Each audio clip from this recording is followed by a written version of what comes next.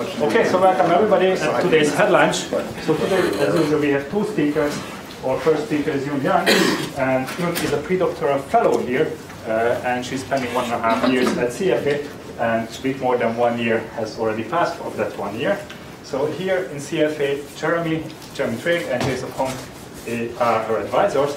Uh, she's also enrolled at UMass as a grad student, so Yun's research is focuses on time domain X-ray observations and modeling of accretion structures in binaries.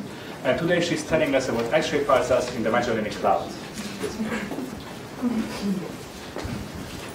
Uh, hi everyone. Um, uh, I'm here to talk about uh, the uh, comprehensive library of X-ray pulsars in the Magellanic Clouds including the time evolution of their luminosities and spin periods. I will start with, with an introduction to the library of pulsars in the Magellanic Clouds, like the satellites and the number of observations we used, also the content of the library, like the event lists, light curves, periodograms, and the spectrum. Uh, the reason we study pulsars in the Magellanic Clouds is that uh, neutron stars still potentially hold many unsolved problems.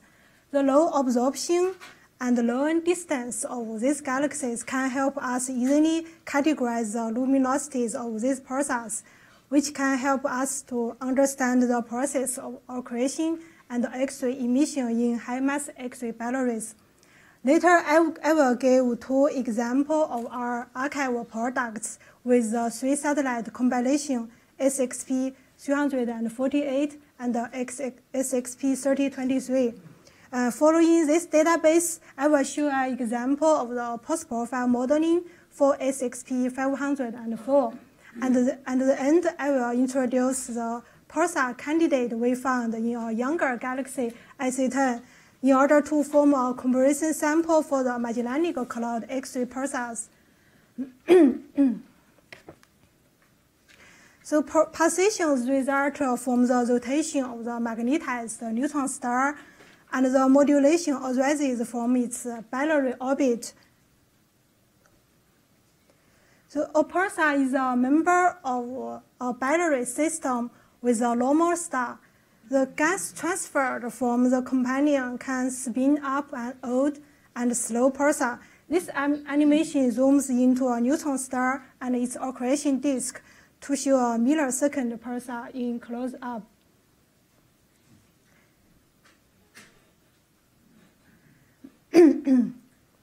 so we have created a library of pulsars in the Magellanic Clouds. We collected and analyzed over 1,000 of X Newton, Chandra, and RXTE observations. It covers 15-year detection. So X Newton and Chandra detection are from 2000 to 2014, and all of the RXT weekly observations are from 1997 to 2012. So for each pulsar detection, our pipeline generates a suite of useful products. For example, the single source event lists, periodograms, light curves, and the spectrum. So for each pulsar of the number of observations we used from the three satellites is shown in these histograms. The pulsars are arranged in the order of increasing spin periods in seconds, as their names indicate. So the green bars mean how many times each pulsar was in the field of view, and the red bars show how many times each pulsar was actually detected. so similarly, this is the histogram for the Chandra observation. And uh, this is for the RXTE. Uh, we can see the fast pulsars are rarely detected. Overall, for all the long pulsars, we have put all the luminosity from the three satellites in this diagram. The X Newton observation is plotted in green, Chandra is in red, and RXT is in blue. The field symbols mean the positions of the pulsars are detected, and unfilled symbols mean their positions are not found by us. Also, the no positions are found in the propeller region. This, the faintest source and the brightest source map out the boundary of the X-ray emissions in the small Magellanic clouds as 10 to 31 to 10 to 38 erg per second. Individually, we have put the uh, three satellite measurement together. For example, let's look at this pulsar with spin period 348 seconds. so this is XP348. Still different color means a different uh, satellite. And the blue dots mean RXTE detection. Chandra is in red and uh, X Newton is in green. We have a 17-year history of the luminosity, pulse fraction, amplitude, spin period, and the significance of the Lomb-Scargle period we found. So obviously, RXT doesn't have the pulse fraction information because it's a long image detector there are always multiple sources in the field of view. And the field symbols indicate the sources positions are detected with larger than 99% significance. So this can tell us the on-off status and outburst state of each pulsar as a function of time. The linear fate to the spin period shows this pulsar is spinning up with a rate of 0.2 millisecond per day and uh, which is illuminating the uh, mass and angular momentum transfer from the accretion disk or wind to the neutron star. And the standard deviation is 3.5 seconds. uh, in a similar fashion, this is uh, SXP 3023. The data points of the spin period are also show a period modulation so we found that its orbital period might be 4.2 years. Uh, we have similar figures for 17, five, uh, 57 other pulsars. Uh, will not be present uh, in this talk, but here is a table to summarize the spin period derivative information. So the first column is the name of the pulsar, and the second column is the spin derivative information with the error bar. And this is the standard deviation. This is significance. The last column is the number of points used to do the linear fit for the spin derivative.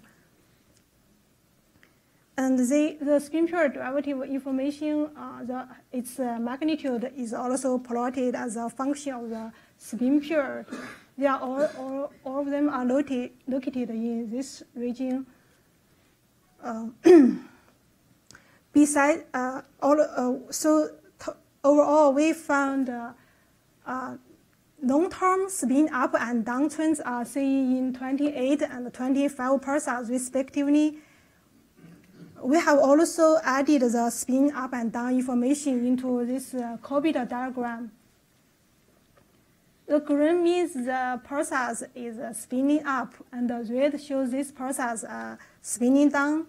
The blue dots mean these pulsars spin period derivative information are still unknown, either due to lack of observations or lack of positions detected. And the bottom, this open symbol means these pulsars uh, orbital periods are still unknown. Uh, currently, we only have 43 out, out of 65 pulsars have secure orbital period. The relationship between the orbital period and the spin period can be matched by a law. The index is 0.425.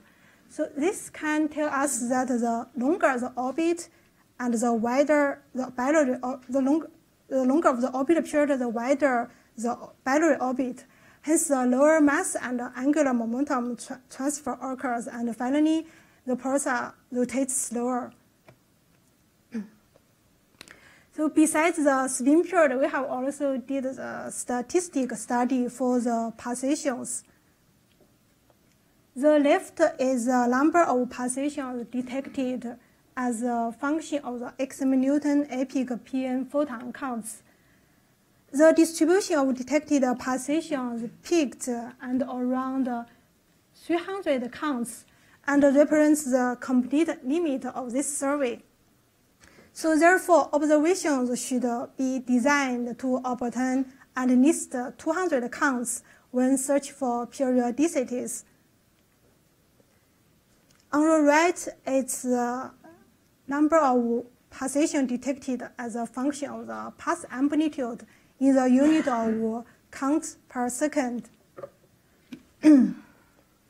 uh, similarly, this is for the Chandra, and we can see it peaks and uh, 0.06 counter per second, so the same as x Newton, and this is uh, RxTE. So this can guide us for our future observing proposal about the sufficient counts needed for, uh, for the observing time. We are also working on the relationship uh, between the luminosity and the pulse fraction for each pulsar. So the variation of the pulse fraction shows two different trends as the luminosity increase so for example, this is SXP 3023, the pulse fraction uh, decrease as the luminosity increase, but the SXP 59 show opposite direction. Based on our, our archive, we have also built a preliminary model with the general relativity effect sorry, the upper left is a geometry demonstration of the neutron star. The arbitrarily sized hot spots is plotted in red, while the blue dots demonstrate the center of the pulsar. The magnetic axis doesn't go through the center, and the black line means the photon path, including the light bending effect. With this light bending effect, the visible region of the neutron star surface is significantly enhanced, so which can be expressed in this formula. R is the radius of the pulsar. R over RG is the emission radius in Schwarzschild units. And the infinity, the flux is reduced by the gravitational redshift factor Zg uh, which can be expressed uh, in this formula uh, as a function of the mass radius ratio. The observed flux fraction from the one emission spot is related to the emission radius and the angle between the magnetic axis and the light of sight. So the different model parameters combination generates different shapes of the possible profiles. The modeled light curve from the primary hotspot is plotted in pink. The second hotspot is in green. The both hotspots combined in black. The upper panels are for the pulsar with symmetric hotspots. And the mid and bottom panels are for the same pulsars, but just the second hotspot shifted in the location. So when both hotspots are visible, the observed path shows a plateau. The maximal path fraction is shown in this formula. Uh, this is for the symmetric hotspots. If we want to have, uh, have a larger value than this uh, frax, uh, uh, fraction, we need to we need to have uh, the person needs to have asymmetric hotspots or more than two hotspots. On the right is an example for the path profile modeling SXP 504. The colored map is a reduced chi-square between the 2003 December 14 x-Newton observation and the model. The beta is the angle between the magnetic axis and the spinning axis the angle between the spinning axis and the light of sight is theta. So these angles are divided into four different class, classes. uh, these light curves are the examples for each class. So we can uh, say, and the minimal reduced chi-square, the best fitting angle is theta equals 15 degrees, and beta equals 64 degrees. The redshift uh, factor equals 0.11. Uh, With this result, the upper left shows the comparison of the fold light curve between the model in red and the observation in black. And the observed and modeled Lomb-Scargle periodogram is sh shown in the bottom left. So, so far we have talked about the pulsar population and the modeling in the uh, Magellanic clouds. Uh, in parallel, we also searched the pulsar candidates in a younger galaxy IC10 uh, to form a comparison sample with the Magellanic Cloud X-ray pulsars. Since IC10 is the closest known starburst galaxy, and uh, it is much younger than the small and large Magellanic Clouds, we search the positions with a very deep extreme Newton observation. Uh, we found uh, uh, a few pulsar candidates in the direction of IC10, which are labeled in green circles in this imaging.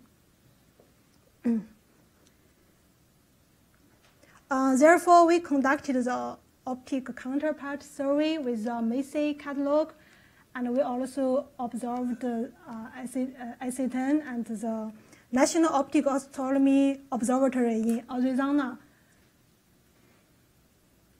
Uh, the yellow is the field of view of our optical observation.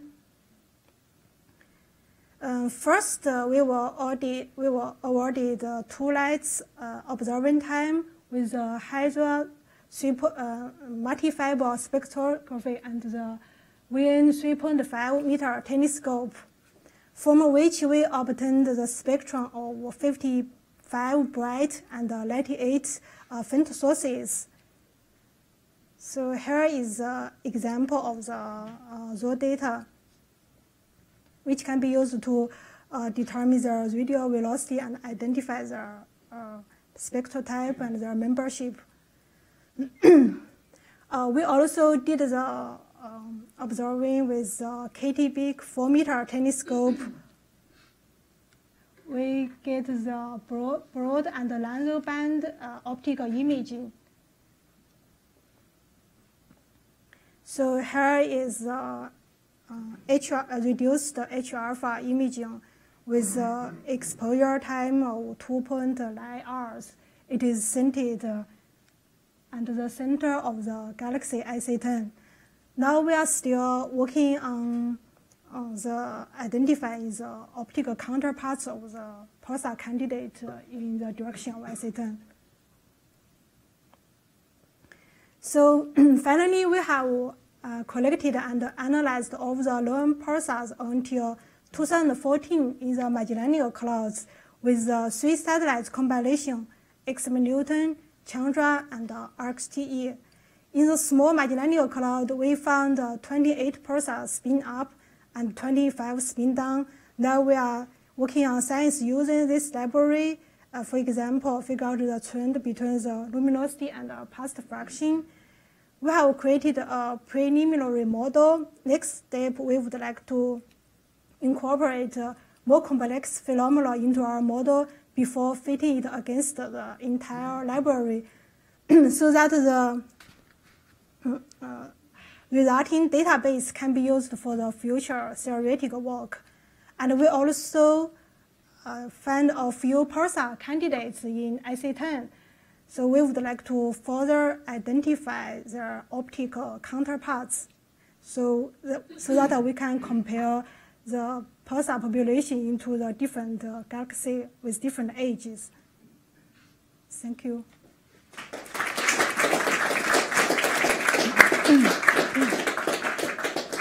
Thank you. So, are there questions?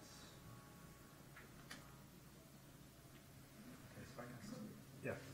Uh, can can these pulsars be observed in the radio? Yes, yes. I see. Yeah.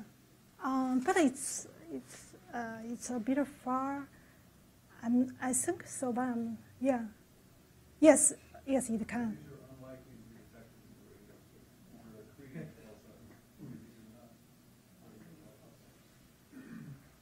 Is that because they're not aligned toward us, or? No, they're, they're accretion product, using application product, Oh. fundamental difference. Yeah, so to, to model the light curve on these uh, neutron stars, you would have to know the beam pattern radiation on the surface, namely how the intensity varies of the, the beam, right, on the surface. Uh, because it's magnetic field, this uh, beam pattern is going to be very different from, I, I, I, it's very going to be, it's going to be non, non-isotropic. So I was wondering what you assume to that beam pattern to model this light curve. Did you assume isotropic Uh, this just uh, this we use the pencil pencil beam. So the the accretion column there's a fan beam and the pencil beam. So this one, Parameterize, parameterize, parameterize. yeah, we we tried the like your. So are you talking about the the beam pattern of the Yeah, accretion column? All the intensity varies, all the intensity varies as function alpha. That is. Like the beam coming from there, all the intensity varies as function You mean this this alpha? Yeah, alpha. Yes. So um, since we are fitting the model with uh, real observation, it's uh, I think the alpha, if, if if different par, uh, pulsars alpha is different. So um, I think I think it's I, I if we like we fit, uh, fit one pulsar with, uh, for example, SXP 3023, there are more than 20 observations. We fit all the light curves. Uh, we found the there's alpha distribution, but the, it peaks and and the, so we can find the best uh, angle. It's it, I think it's different with the different pulsars. I'm not sure if I, I understand your question correctly. Any other questions? If not the case, let's thank our speaker again.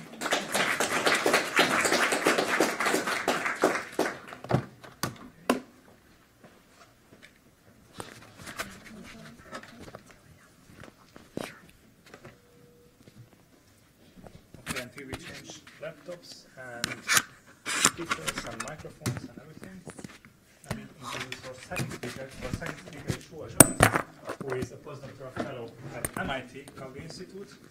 And then she, before that, she was a graduate student uh, at the Columbia University, where she got her PhD. And her main research interest wa- wa- during the PhD was to investigate hard X-ray output history of the galactic center supermassive black hole Sagittarius A. Uh, and for this study, she mostly used the NuSTAR telescope. Sorry. Is this the converter? I should, oh, sorry, I should use this one.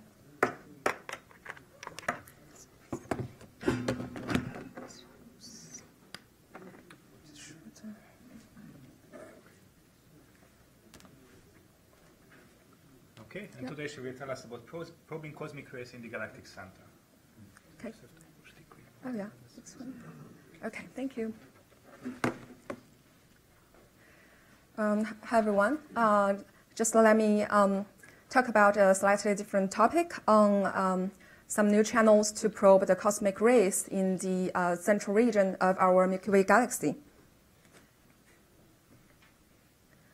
Uh, so the origin of the galactic cosmic rays has remained a big puzzle in astrophysics for many decades, and especially there has been uh, there have been a lot of efforts on looking for evidence the, for the existence of cosmic ray particles in the very central region of the galaxy, the galaxy center. Um, so luckily, we're not sh- short of uh, good targets to probe for the high energy particles, because the galaxy center harbors uh, a lot of like very dense and very massive uh, molecular clouds, and uh, these clouds actually generate very bright. They are very bright uh, gamma ray sources, which have has been interpreted as due, as is due to like a hadronic process, i.e. the pp interactions and. The pi zero decay will give rise to the very bright gamma ray emissions along the uh, galactic plane tracing these molecular materials. Uh, at the same time, uh, the cosmic rays uh, particles, either electrons or protons, in the lower energy range, i.e., like say, uh, let's say MeV to GeV, they can also like uh, bombard bombard into these molecular clouds and generate X-ray emission through the Bremsstrahlung processes. Um, so besides these uh, like giant molecular clouds serving as targets for the high energy particles, we also have some quite unique magnetic features, magnetic structures in the galaxy center, which are called magnetic non-thermal filaments. Uh, they have some like locally uh, enhanced magnetic field strength within these structures compared to the surrounding environments, and they could potentially trace, uh, track the uh, high energy um, particles, if there is any, uh, and generate uh, radio and X-ray synchrotron emission. Uh, so just list uh, these uh, three items here, and in this talk I'm just going to focus on these two, i.e. the probe, probe the GeV TeV electrons using these magnetic filaments and to probe the MEV to GeV particles using the molecular clouds. And first, let me just uh, uh, unfold a little bit on the, on the first one to probe GeV-TeV electrons using uh, magnetic filaments. Um, so one of the most uh, striking features in the galaxy center uh, is perhaps these uh, very elongated features given the name of like non-thermal filaments because they emit non-thermal emissions. They are firstly discovered in the radio band in the 1980s and here, these two images on the left shows the 20 centimeter map and a, a six centimeter, six centimeter map of the galaxy center. And you can see these guys, uh, very elongated, very long uh, features, and also um, some smaller scale, uh, shorter filamentary structures. And this is a, a six centimeter. And since the uh, start of the Chandra era, uh, some uh, smaller scale elongated features in X-rays have also been uh, detected, although of a, smaller uh, length. This table just uh, uh, gives a comparison between the radio uh, elongated filamentary structures and the X-ray filaments. Um, there are about like 80 of the radio filaments within two degrees of the galaxy center, or there are a smaller uh, amount in the X-rays, about 20. But new X-ray filaments are being discovered in the recent years. also, the as just uh, uh, talked about, the X-ray filaments uh, tend to be of a smaller scale, like a few parsecs, while the radio filaments, as shown here, can extend up to tens of parsecs. And thanks to the polarization detection in radio band within these filaments, it kind of helps to confirm the synchrotron origin for the radio filaments. And to generate a synchrotron radio emissions, uh, of these uh, within these filaments uh, for for and their flux are kind of a, a constant over the years. It, it, requires to feed these filaments continuously with GeV electrons. And the ultimate question is, of course, of course what is the origins of these uh, GeV electrons? Is it due to uh, particle acceleration or more exotically, could it be due to dark matter annihilation? And if it is due to the particle acceleration, what is the, uh, which is the accelerator? Is it, is it the central supermassive black hole, or could it be like supernova remnants or pulsar uh, nebulas?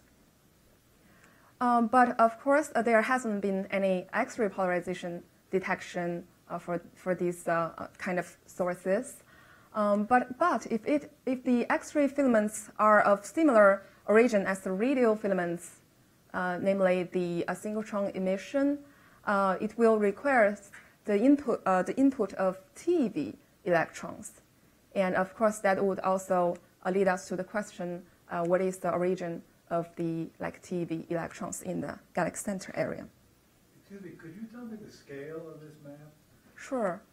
I it's, uh, it's just a few arc minutes. Um, I would say it's like tens of parsec, 10 parsec or something. 10, 10 parsec or something, I think. Oh, yeah, I think so. Okay, um, so let me just uh, give uh, a, a, an example. Uh, this guy called uh, E or some uh, telephone number name, like Newton. Um, this is the brightest uh, uh, X-ray filament in the galaxy center area, as shown this, in, in, these two um, images. This is the Chandra 2 to 10 keV, and this is the NuSTAR 10 to 50 keV. Um, the, the about 20 X-ray filaments used to be inter interpreted as the P, uh, Wind nebulas, the PWNs. And this guy is also, the SAGE is also, uh, was used to be uh, interpreted as a, a PWN. Uh, this is the putative, like pulsar leading the uh, nebula uh, behind it, moving that way. but the NuSTAR detection showed that the high energy 10 to 50 keV centroid does not um, coincide with this uh, putative pulsar, but instead uh, co coinciding with like the uh, brightest spot of the like 2 to 10 keV X-ray emission, which is very far away from pulsar, kind of arguing against uh, that uh, pulsar wind nebula scenario with the pulsar uh, leading the nebula moving this way.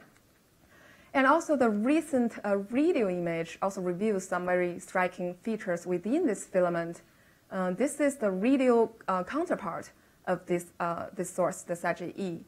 As you can see uh, that this is, it contains many like subfilaments, just a, like a bundle of many subfilaments entangled with each other and extending to a larger scale. Uh, this is definitely not something uh, typical for a pulsar wind nebula.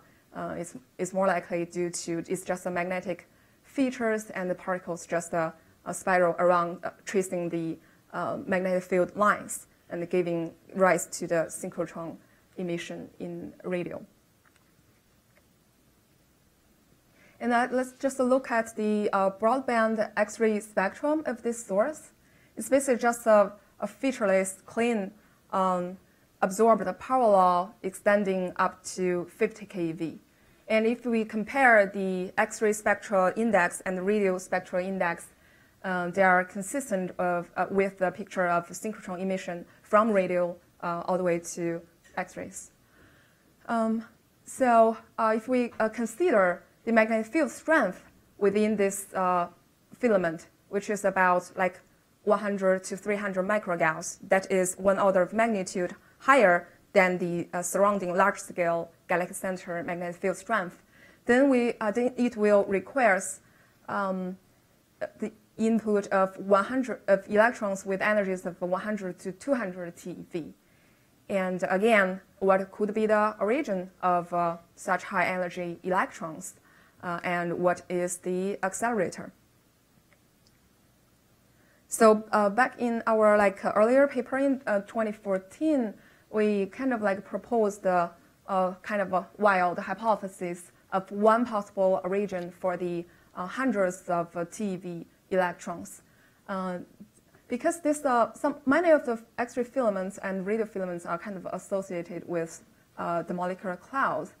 And uh, we were thinking if there is indeed a very powerful uh, cosmic ray accelerator located in the galaxy center area, no matter what it is, and it could uh, accelerate particle protons to like TeV or PeV, then when these um, TeV and PeV protons hits onto the molecular clouds, then the PP interaction, uh, due to the PP interaction, the pi zero decay will give rise to the gamma ray emission uh, like detected in the, uh, by like Fermi or Hess.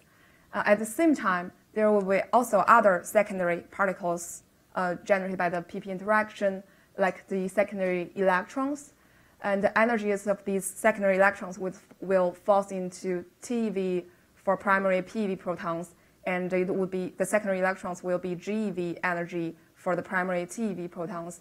And if, they, if these secondary electrons can escape from the molecular cloud, they, they could be uh, tracked uh, within these uh, locally enhanced magnetic field within these uh, filaments. But uh, that these filaments have to be very close to the molecular clouds before uh, like TeV electrons cools off. Um, and uh, within the filaments, uh, these uh, electrons can generate synchrotron emission uh, falling into X-ray band and radio band as we see here. So this is just a, a proposal. But of course, um, there are many um, things to, to, that needs very careful investigation, such as um, what is the spectrum of the uh, secondary electrons, and it, can they really escape from the cloud by comparing their cooling time and escape time within the cloud? But maybe the more important question is: Is there actually a, a powerful enough uh, cosmic ray accelerator out there in the galaxy center.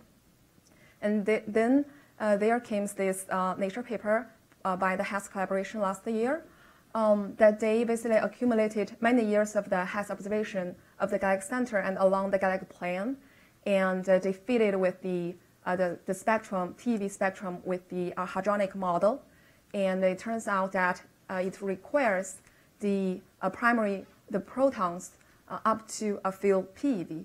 So they, they kind of, uh, uh, the title of the paper would be it, something like, is there a, a PeVatron or evidence for a PeVatron in the galactic center? The other findings of them presented in that paper is that the gamma emission along the galactic plane uh, falls to a 1 over r distribution, so which points to maybe a single cosmic ray uh, accelerator uh, at the very center of the galaxy, which is actually uh, coincide with the central supermassive black hole, Sagittarius star. But of course, other sources within this area, like a supernova remnant and the PWN, cannot be ruled out. But this is just gives us some uh, good, good news that there is likely that there is indeed a very powerful um, cosmic ray accelerator there.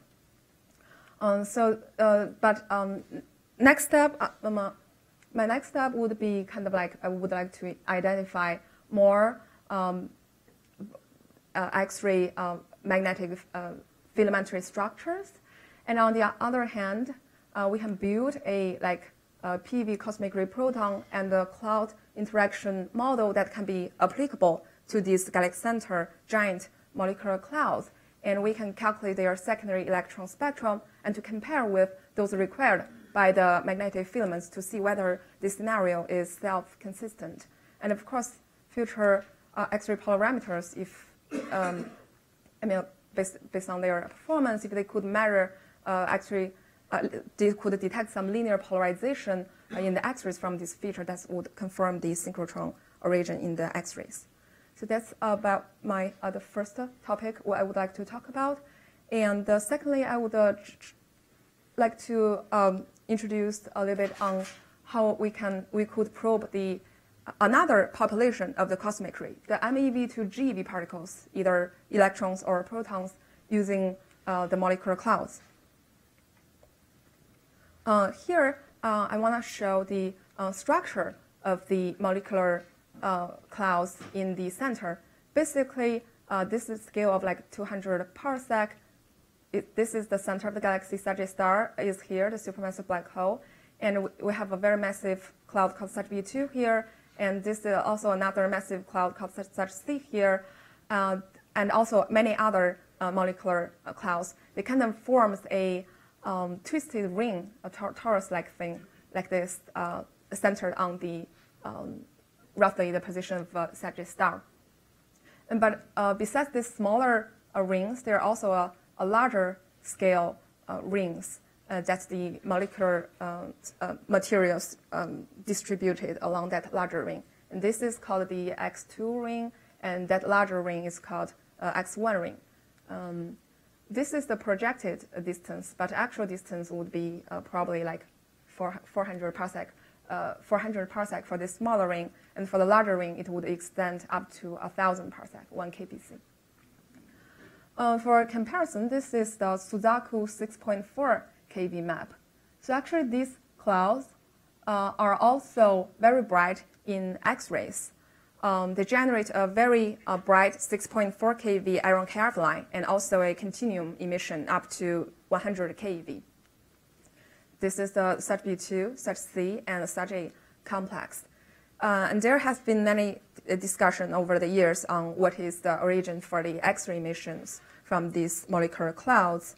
And uh, the most popular scenario is that this is due to X-ray reflection of a past um, outburst, X-ray outburst from Sgr A*. Uh, that is because we have observed the time variability in the uh, iron K alpha line and also X-ray continuum emission uh, for many of these clouds. Um, depending on whether the wavefront of that outburst from Sgr A* is passing or has passed uh, uh, the, the cloud, you, you can see the X-ray emission from these clouds rising and then plateau and then decreasing. Um, so that, that, that is just a, a cartoon showing this, uh, showing like the X-ray reflection scenario and what is the physical processes involved in this uh, scenario. Uh, but not all clouds are showing this uh, X-ray uh, time variability. Um, some uh, do show some con quite constant emission. So the kind of like a competing scenario trying to explain the X-ray emission from these molecular clouds is the cosmic ray uh, proton or electron bombardment within the uh, uh, clouds, but the energy should be in MeV to GeV. Uh, and they could also generate iron K alpha line and also the um, continuum emission. Uh, but since their cooling times are very long, uh, for us it would look like a just a constant X-ray emission. And one good opportunity for us to investigate this cosmic ray bombardment scenario is to look at uh, SAGB2 uh, this year or next year. Uh, that's because like SAGB2, uh, which is uh, the most massive and densest uh, cloud in the central molecular zone, its iron K alpha flux and also the continuum emission has been decaying over the last decade. So it's, people kind of, it's widely accepted that this is uh, dominated by the X-ray reflection of a past X-ray outburst from Sgr A* around like about like 100 years ago. Um, but this component is uh, decaying if we just uh, uh fit the um, these uh, measurements uh, for the past decade. it's consist consistent with either like linear decay to maybe zero flux in this year in 2017 or it's also kind of like uh, fitted with an exponential decay uh, with a constant uh, background uh, component. And the exponential decay, by the way, is more consistent with uh, what one would expect, expect for the long time light curve uh, for the X-ray reflection scenario. So if this model is preferred, then we would expect a, a constant background component which might be, uh, which could be due to um, the cosmic ray um, bombardment. Um, so uh, starting like this year in 2017, it could be the, the first time that the cosmic ray bombardment component, component would dominate the X-ray emission from SAGB2. Uh, since I, I, I, got like 100 kilosecond XMM observation coming up later this year or earlier next year, uh, hopefully uh, it could at least give us a, a, a, upper limit or, or maybe even better constraints on the uh, cosmic ray um, power and even spectrum. Uh, actually, using even using the earlier data, earlier 2017 uh, data obtained by NuSTAR, we've already tried to apply the uh, self-consistent uh, cosmic ray proton bombardment, bombardment model onto the X-ray data from uh, SAGB2. Uh, this model actually cannot be uh, ruled out, uh, which uh, that this spectrum comes from uh, this measurement here by NuSTAR, and these are earlier measurements by XMM Newton.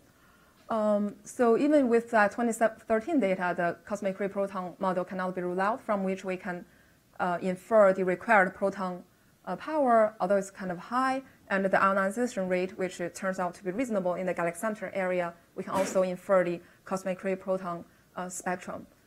Um, although the, in the 2013 data could be theoretically 50% uh, from the X-ray reflection and 50% from the cosmic ray. So we were hoping that the uh, new, new data uh, coming up this year could give us a better control, uh, constraint. Uh, that, that's not the end of the story. Um, for SAT-B2, that's, that's only uh, one case. Uh, that's a good opportunity for us to put some good constraints this year. Uh, but my last point is that um, um, there is also a, a molecular uh, cloud distribution in a larger scale, uh, as shown in that uh, huge ellipse there. Um, the molecular clouds can extend up to like 1.3 kpc. Um, and like the, that dense cloud, Bania's Cloud 2, and also other molecular materials along that large uh, X1 orbit. And the Suzaku observation of these uh, molecular clouds further away from the center, uh, as shown here, uh, they found out that the iron K alpha, the 6.4 keV iron K alpha line, uh, traces uh, these molecular clouds. And actually, the intensity as shown in this image, the intensity of the iron alpha line uh, is proportional to the density of the molecules uh, along the galactic plane.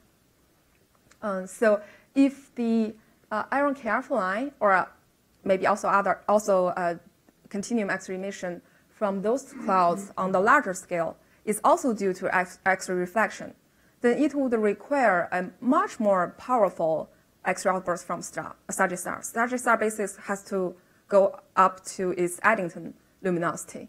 And also the outburst should happen like a thousand years ago. So th this makes, uh, makes this X-ray reflection scenario sounds a little bit artificial because there's not too many evidence um, uh, to, to support that Sagittarius could go into, uh, could, could reach its Eddington luminosity a thousand years ago. Um, so at this stage, I would think that the cosmic ray, uh, either electron or protons in the energy of MEV to GeV, um, should be a more uh, natural explanation for the X-ray emissions from this uh, cloud. But there is only one Suzaku measurement for this cloud. Uh, I, am hoping to have some future um, measurements uh, new, new data coming in to see, at least to see whether we see some time variability uh, from the X-ray emissions uh, of these clouds to distinguish between the reflection scenario and the cosmic ray uh, scenario. Um, so that's, uh, that's all I would like to talk about. Here's just the conclusion. Basically, we can, uh, we, we, we, can use the uh, giant molecular clouds and these magnetic filamentary structures to probe different populations of the cosmic ray particles in the galaxy center. And the ultimate goal would be to answer the question of whether there is uh, high energy cosmic ray particles in the center and what uh, could be the uh, accelerator or uh, origin for such uh, high energy cosmic ray particles. Yeah, that's, that's it. Thank you. Any questions? Yes. Um, the SOFIA FORCAST image of Sagittarius A star is well known, published by Lau and collaborators two years ago. Um, of course, showed a pattern of filaments. The radio astronomers in the black hole group, black hole event horizon group, call it asymmetrical structure at the galactic center object. Do the filaments seen in the 30 micron detection by SOFIA agree with the filaments you're seeing uh, in PeV or something. You mean the distribution of the filaments uh, of the as SOFIA detected? Is it uh, like uh, of a similar distribution as the radio, as seen in radio or X-ray? Um, it's it's different from seen in X-ray as far as I know. Yeah. usually people do not show much care in being sure that their maps have north exactly up and uh, up and down. And um, the okay. filaments are especially bright in the near infrared and seem to be dominated by um, um, synchrotron radiation as seen by the strong polarization signatures, mm -hmm. circular left and right and linear polarization. So I'm wondering if, uh, if uh, those filaments, and they're called, called by Lau and all, the normal, the northern arm, the east-west arm, and so on. And I'm wondering if those are the same structures as you see uh, in um, cosmic rays. I'm not exactly sure whether uh, the, these near-infrared uh, filaments are the counterparts of those radio filaments. Um, The scales are about the same. Oh, They yeah, show filaments on a size scale of approximately a parsec. Okay, I mean, I would, um, I would like to do like a careful comparison because I really haven't really compared the like you to do near infrared. Thanks very much for the comments. I'm very interested in this. Um, yeah, indeed, I have to see what is the how how they like. Uh, is is that are those fi- uh, infrared uh, filaments are indeed like uh, counterparts of those, and are they of the similar origin? That would be very interesting questions for me to pursue. Thanks. Yes, Tony. How does the flux of cosmic rays compare to the flux of cosmic rays in the solar neighborhood? The flux of uh, we just calculate like the required like power and like spectrum. The required power is quite high, uh, in the order of like 10 to 39, um, if we are using the most recent uh, observation. I think Tony needs the energy density of Yeah. cosmic rays. Um, That's a similar question. uh, the number is like not on top of my head uh, in terms of energy, like how many EV per centimeter square. Um, Now, certainly the nearby molecular clouds don't glow quite so bright. Yeah. as the mechanisms. I would probably think it's mu- higher, much higher, using the current data compared to the uh, solar neighborhood. Yeah. So in the first part of your talk, you mentioned the T detecting the S. So wondering what's the emission mechanism of that T photons? I was like Do you also correlate with molecular clouds, it's like due to um, PP interaction and uh, what's, what dominates the GeV and TeV emission is pi zero decay. Do you see correlation with the molecular cloud, the TeV photons? Yes, Oh, this, okay. yes. The intensity of the TeV emission uh, is tracing the distribution of the molecular materials. Any more questions? Okay. The, about the X-ray filament, I think you mentioned that most of the X-ray filament was identified as uh, origin of PWN. Yeah. And uh, how do you explain the, uh, you only see one filament could be associated with the hetatron or whatever? Is that some sort of directional bias or energy is too high, so there's uh, rare, rare, rare? Right. So first, I think, um, like for this one, we, we luckily th- this guy has the radio counterpart, uh, and the radio morphology kind of uh, really goes against the PWN scenario and supporting the filament scenario. For, so for those uh, X-ray filaments with a with a radio counterparts, uh, then we can maybe use the radio observations to, to argue for the magnetic filament scenario. But not too many of them have radio counterparts. Uh, from radio uh, uh, from the X-ray observation uh, itself, it's really very difficult to distinguish between PWN scenario and uh, magnetic filaments scenario. Mm, yeah, but we might need a deeper uh, observation or even like X-ray polarization detection. But yeah, X-ray polarization, I don't know, probably not. Okay, let's thank both of our speakers.